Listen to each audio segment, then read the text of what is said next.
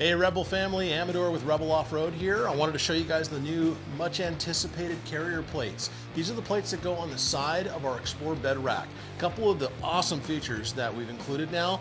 Uh, first one I'll go over is gonna be that these are aluminum. We've reduced the weight by about 40%. Huge, huge improvement. We've also given you guys a number of additional accessory mounts that you can add on here. So all these little accessories are all held on by these little guys right here.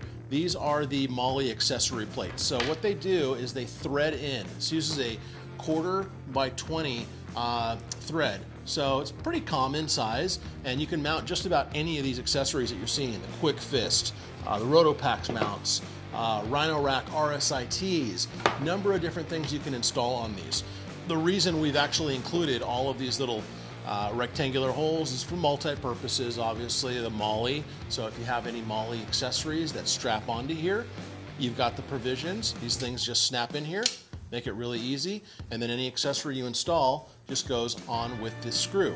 So once you place, let's say a quick fist on here, you're gonna bolt that on and it's gonna suck this thing up against the back side of the plate, giving it a nice secure spot to mount. Not gonna vibrate off, rattle off, or even move at all. Uh, another thing too that's great is you can move these things. So you have an infinite number of adjustments. We've also upgraded our uh, Rotopax mounts right here.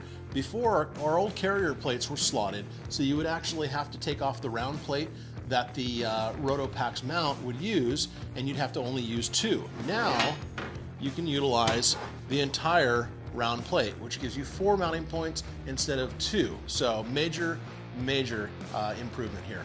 Uh, number of accessories that we've also added on as well. So just want to get you guys a little familiar with these things. It's a great addition to the Explorer Rack family.